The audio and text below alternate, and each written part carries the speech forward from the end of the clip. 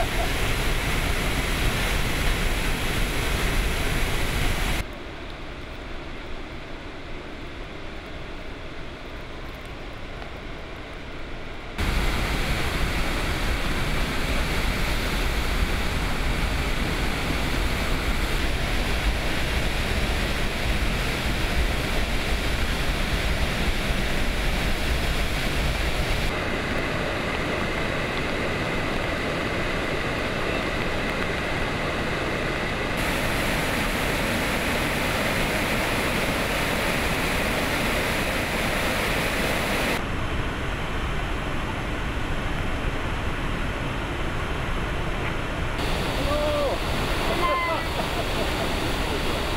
I'm here in northern Taiwan the morning after Typhoon Trami dumped over half a metre of rainfall in this region.